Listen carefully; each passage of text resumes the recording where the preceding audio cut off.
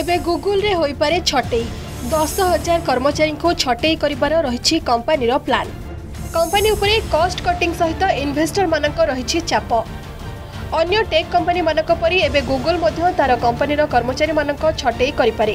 ଗୁଗୁଲର parent company Alphabet ତାର ଦଶ ହଜାର କର୍ମଚାରୀଙ୍କୁ ଛଟେଇ କରିବାର ଯୋଜନା କରୁଥିବା ନେଇ ଆନ୍ତର୍ଜାତିକ ଗଣମାଧ୍ୟମ ରିପୋର୍ଟରେ ଦର୍ଶାଯାଇଛି। ଇନଭେଷ୍ଟରମାନଙ୍କ ଚାପ କଷ୍ଟ କଟିଂ କାରଣରୁ କମ୍ପାନୀ ଏପରି କରିବାକୁ ଯାଉଛି ବୋଲି ଏଥିରେ ଉଲ୍ଲେଖ କରାଯାଇଛି।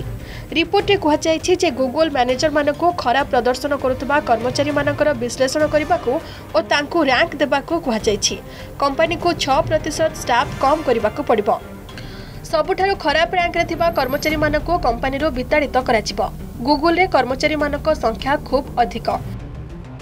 ରିପୋର୍ଟରେ ଉଲ୍ଲେଖ ରହିଛି ଯେ ବ୍ରିଟେନର ହେଜ୍ ଫଣ୍ଡ ବିଲିୟନର କ୍ରିଷ୍ଟୋଫର ହାନ୍ ଆଲଫାବେଟ୍ କମ୍ପାନୀକୁ ଏକ ପତ୍ର ଲେଖିଛନ୍ତି ଏଥିରେ ସେ ଲେଖିଛନ୍ତି ଯେ ଆଲଫାବେଟ୍ କମ୍ପାନୀର କର୍ମଚାରୀମାନଙ୍କୁ ଅନ୍ୟ ଟେକ୍ କମ୍ପାନୀର କର୍ମଚାରୀଙ୍କ ତୁଳନାରେ ଖୁବ୍ ଅଧିକ ଅର୍ଥ ବେତନ ଭାବେ ପ୍ରଦାନ କରାଯାଇଥାଏ ତେଣୁ କର୍ମଚାରୀମାନଙ୍କ ସଂଖ୍ୟାକୁ କମ୍ କରିବା ଆବଶ୍ୟକତା ରହିଛି ଆଲଫାବେଟ୍ କମ୍ପାନୀରେ ମୋଟ ଏକ ଲକ୍ଷ ସତାଅଶୀ ହଜାର କର୍ମଚାରୀ କାମ କରୁଛନ୍ତି ହାନ୍ ତାଙ୍କ ପତ୍ରରେ ଲେଖିଛନ୍ତି ଯେ କର୍ମଚାରୀମାନଙ୍କର ଏହି ସଂଖ୍ୟା ବର୍ତ୍ତମାନର ପରିସ୍ଥିତି ଅନୁସାରେ ମେଳ ଖାଉନାହିଁ ହାନ୍ ଏହି ପତ୍ରରେ ଦାବି କରିଛନ୍ତି ଯେ ସର୍ଚ୍ଚ ଇଞ୍ଜିନ୍କୁ କମ୍ ବେତନ ପାଉଥିବା ପ୍ରଫେସନାଲମାନଙ୍କ ଦ୍ୱାରା କୁଶଳତାର ସହ ପରିଚାଳନା କରାଯାଇପାରେ।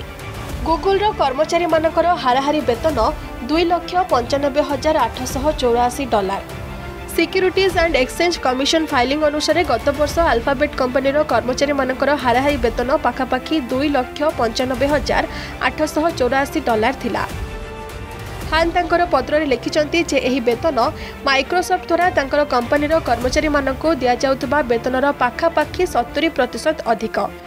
ଆମେରିକାର କୋଡ଼ିଏଟି ସବୁଠାରୁ ବଡ଼ ଟେକ୍ କମ୍ପାନୀ ତୁଳନାରେ ଆଲଫାବେଟ୍ ନିଜର କର୍ମଚାରୀମାନଙ୍କ କମ୍ପିଟିଟରମାନଙ୍କ ତୁଳନାରେ ଶହେ ତେପନ ପ୍ରତିଶତ ଅଧିକ ଅର୍ଥ ପ୍ରଦାନ କରିଛି।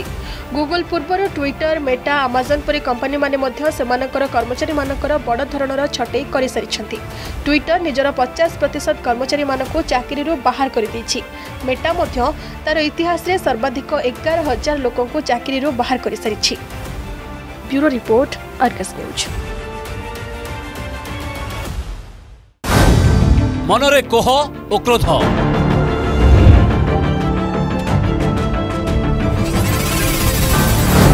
ପଚାରିବେ ପ୍ରଶ୍ନ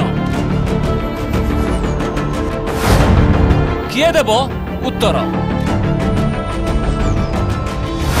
ଆପଣଙ୍କ ପ୍ରଶ୍ନର ବେସାଲିସ ମଞ୍ଚ ପ୍ରଶ୍ନକାଳ ସୋମବାରରୁ ଶୁକ୍ରବାର ରାତି ଆଠଟା ତିରିଶ associate sponsor. विमल कुह भाषा केसरी